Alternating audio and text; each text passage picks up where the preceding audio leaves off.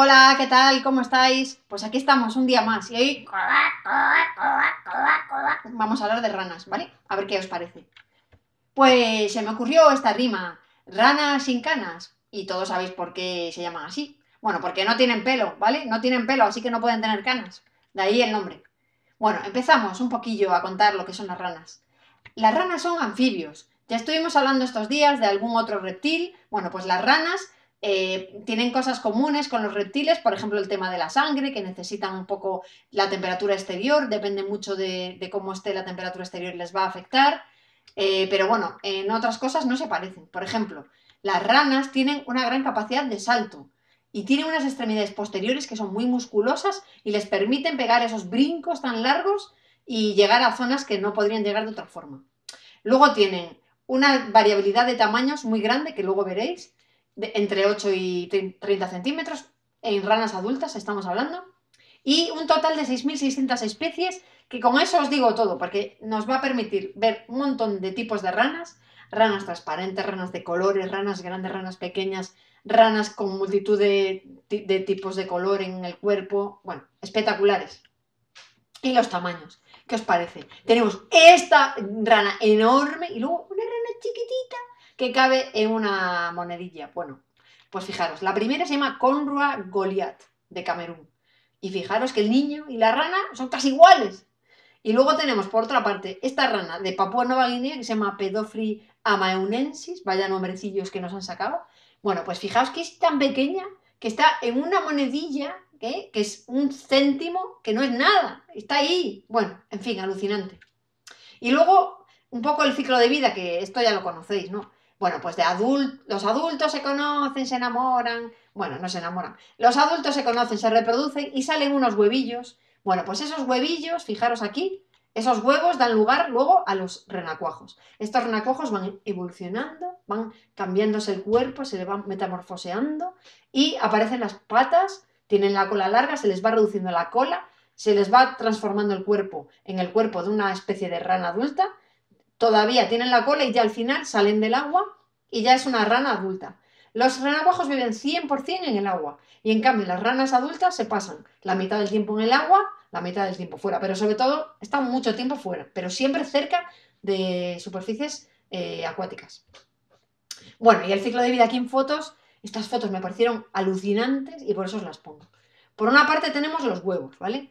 Primero tenemos una estrategia en la que ponen los huevos ahí, venga, pongo los huevos y me voy.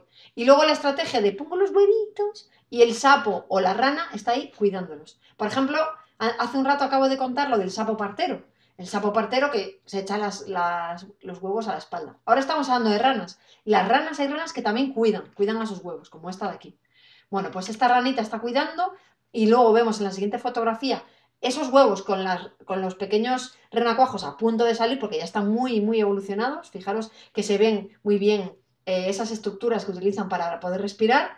Y ya por fin salen los huevos, están, eh, se abren los huevos, salen los renacuajos que están por ahí nadando y ya a la derecha de todo tenemos un adulto que está muy concentrado, que dice, ya tengo todo hecho, ya soy adulto, muy bien.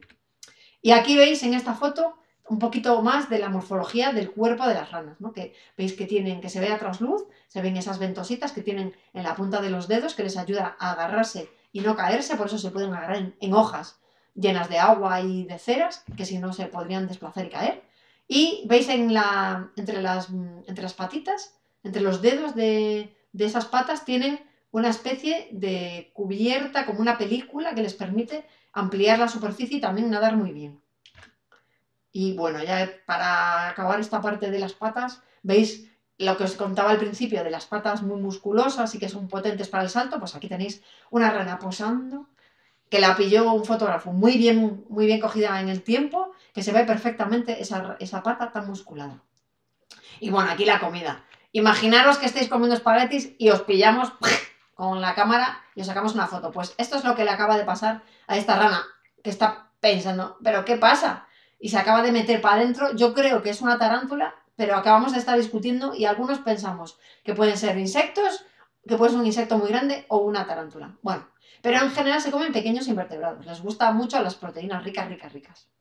Y como, bueno, como todos sabéis, eh, las ranas viven pues, por todas partes, viven en todos los hemisferios Sin embargo, no viven ni en la Antártida ni en el Ártico, porque son zonas muy frías y ahí no les permitiría. Pero yo las he visto en infinidad de lugares, en un montón de sitios, incluso viviendo dentro de plantas, utilizando la poca agua que queda dentro del interior de una estructura de una, de una hoja.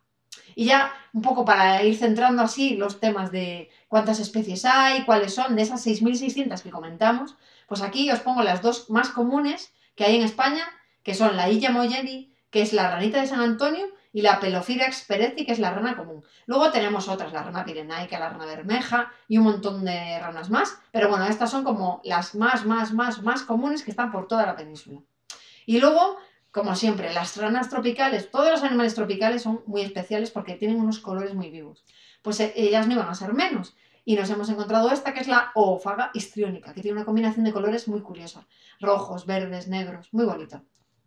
Aquí unas fotografías de un viaje a Costa Rica en la que podéis ver la ofaga pumillo a la izquierda y a la derecha la esmilska feota, que son, veis que tienen unos colores que dice, atención, no me toques por favor, que soy tóxica.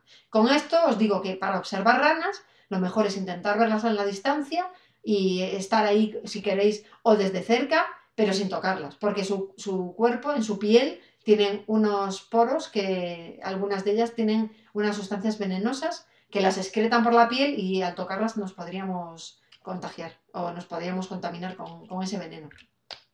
Y ya para ir acabando os enseño aquí al vuelo me la juego porque estas ranas son capaces de lanzarse a por cualquier animal que les llame la atención, que es un poco como si cuando empieza una fiesta nos lanzamos a por la tarta y nos sacan una foto en ese momento, pues aquí lo mismo y veis que hay una rana que se la está jugando. No sabe que está dentro de la boca de un caimán, pero bueno, yo no se lo voy a decir. Y ya eh, os cuento que yo me encontré esta rana tan original en un parque de México, eh, Puebla, y es una rana hecha de neumáticos, que está muy bien hecha, ¿verdad? Y de, esa forma también reciclan neumáticos.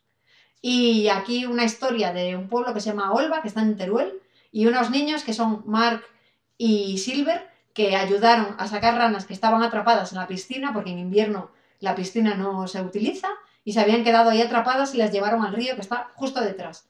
Y aquí encontraron un montón de ranas, entre ellas algunas de las ranas más comunes que acabamos de ver. Fijaros que están muy bien emocionados y las cuidan muy bien, las agarran muy bien y las protegen. E intentan luego llevarlas directamente al río sin que pase mucho tiempo, porque se les puede resecar mucho la piel. Así que nada, este es un repasito bastante interesante por todo el tema de las ranas. Comentaros que entre las ranas y los sapos, sobre todo la diferencia es la piel que tienen, que la de los sapos es más rugosa y no está tan humedecida como la de las ranas. Y si tenéis cualquier duda o cualquier cuestión, aquí me tenéis como siempre. Si os gusta este vídeo, dadle a like. Y aquí, como siempre, agradecer a toda la gente que me ha pasado fotografías y también a todas las webs que he consultado para montar esta presentación. Así que muchas gracias a todos y hasta pronto. Adiós.